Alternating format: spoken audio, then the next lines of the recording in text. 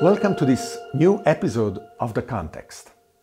Today we have a fantastic opportunity to talk about the frontiers and the promise of virtual reality and augmented reality. Why? Well, this thing has been just released. You may recognize it uh, because YouTube is full of uh, in depth uh, review videos. It is Oculus 2 um, designed and produced by Facebook. You may not have uh, expected that uh, the social network would uh, make a big bet uh, on virtual reality, but they are. They are actually even building an entirely immersive new platform where you will not only write and read and like uh, on a flat browser, but you will actually share a digital space where your avatar, the digital representation of your body, is going to be able to mingle and talk to and listen to other people and do things together with experiences and activities that are being designed and imagined right now. Now, this is not going to be a review video and I am not going to illustrate the various parts of the visor or the controller so let me put it down. What I want to do, as usual, is to give you a context so that you can interpret the meaning and make decisions that are well informed about what is the future that uh, the things you are observing around promise and how you can incorporate them in your life, uh, in your activities, in your initiatives the businesses that you are building or running, or how can society adapt to them? Virtual reality has been around for a long time. Well, both imagined uh, by the storytellers uh, around the fire, uh, even when uh, we uh, didn't have writing. And of course, then uh, virtual reality would be nothing but anyone listening to them closing their eyes and imagining with their eyes closed the worlds that the storytellers would be so skillfully designing and narrating. But what we are talking about today is a technology mediated virtual reality. This has been originally coined by Jaron Lanier uh, in the 90s he imagined that the productivity of developers would hit a ceiling and only if they were equipped with higher degrees of uh, tools. In order to improve what they needed to do, uh, they could keep up with the challenges of managing ever bigger and ever more complex tasks uh, as they were building platforms and programs and applications. That turned to be not the case. Today's developers are indeed very productive, but they are using uh, software tools that are still relying on the bidimensional representation of the code that they are writing. We will not go into that branch of our analysis, but the real revolution uh, in the productivity of software developers is coming from artificial intelligence, which is basically code writing itself. Instead, let's look at what it means that we can wear these uh, visors and immerse ourselves in a digital reality that substitutes some of our senses, represents a world that we can interact with. First of all, I am a big fan of alternate realities because uh, they are interesting, uh, stimulating, uh, they lead to new kinds of considerations, uh, both in play as well as in understanding the world and yourself.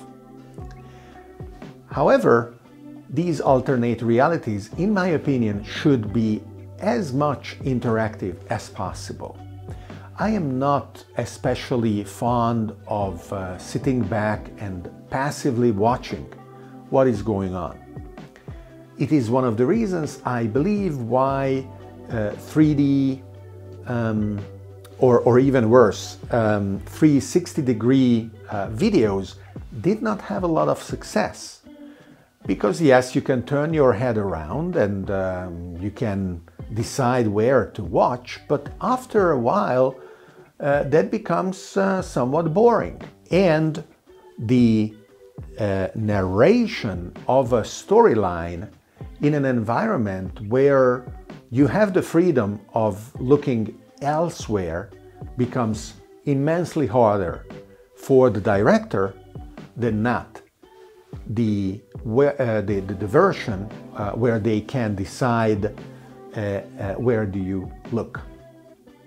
So interaction is key. Interaction, yes, with the environment in order to be able to manipulate objects, uh, to pick them up, uh, to change them in ways that the screen in its flatness on one hand doesn't necessarily engender on the other hand when it is possible it requires some kind of specialized knowledge exactly because you have to overcome the fact that you are uh, manipulating objects that are three-dimensional on a flat screen. That is why computer-aided design uh, is still something that specialists will utilize rather than anyone. But manipulating objects in a three-dimensional immersive uh, environment is very much intuitive.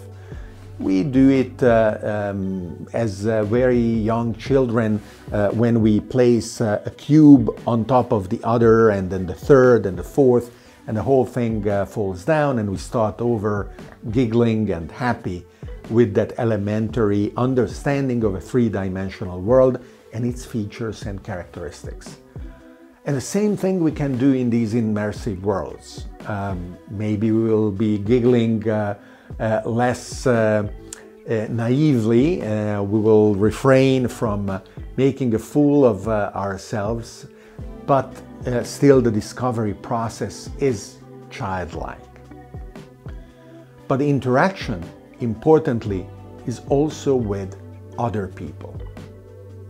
And I think that a lot of the driver in the adoption of the type of um, devices like Oculus 2 is going to come from the possibility of being together in an immersive digital space where you can walk, still admittedly in a, uh, in a volume that is not too wide, let's say like a small room, um, and you have to uh, very carefully uh, check your environment because uh, when you are in the uh, digital space, you don't see your physical surroundings, but still other people in their respective physical spaces as they wear the visor will join the digital space that you are also occupying.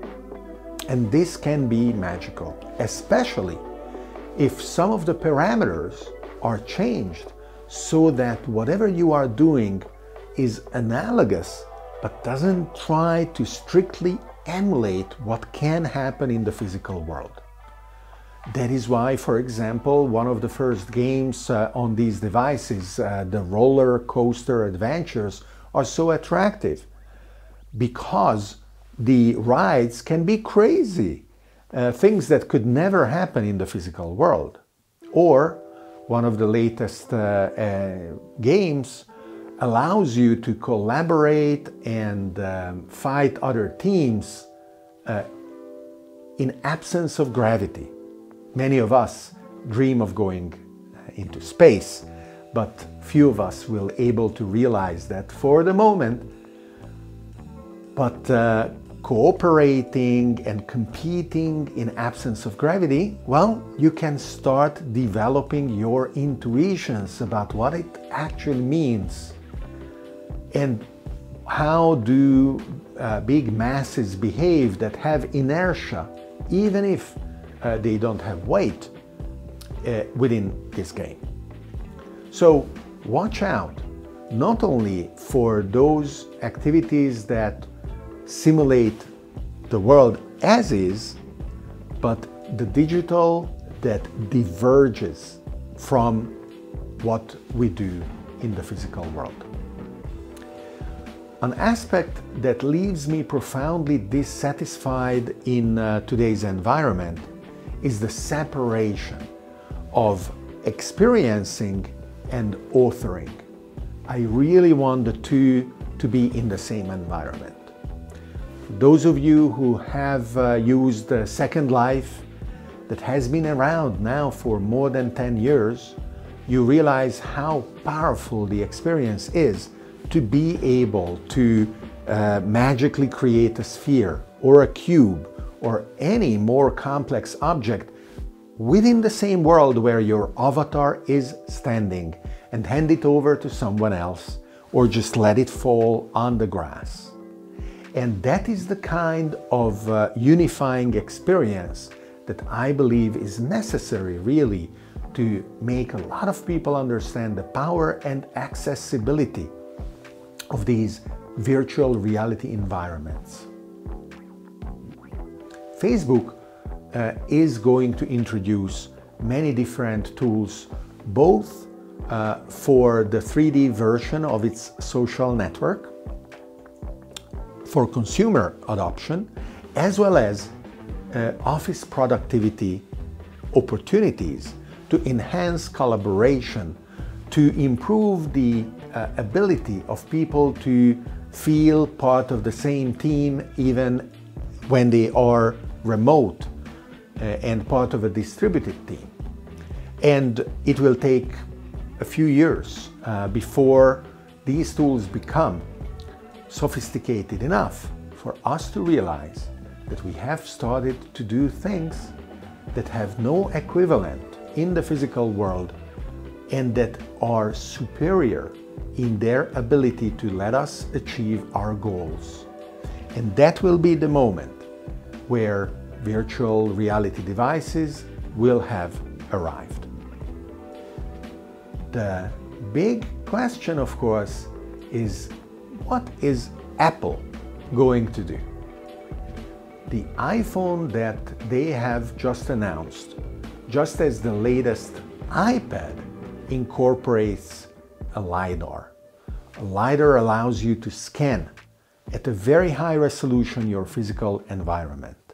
And they have already started introducing programs and apps that let you take advantage of the LiDAR, mixing in the same uh, environment, physical and digital together. Today you are seeing it through the screen of your tablet or phone. But tomorrow, you will be able to experience the world as it mixes physical and digital components seamlessly. And these are already the first steps that we are seeing in that direction. So is Facebook going to rule the virtual reality environments of consumer and professional applications? Is Apple going to rule the augmented reality, mixed reality environments where physical and digital mesh, maybe there will be a newcomer. These two uh, technology giants are spending billions of dollars. But maybe as it happened in the past already, some new invention, some new innovation is going to really open the doors for massive adoption by billions of people of these exciting new frontiers. Thank you very much.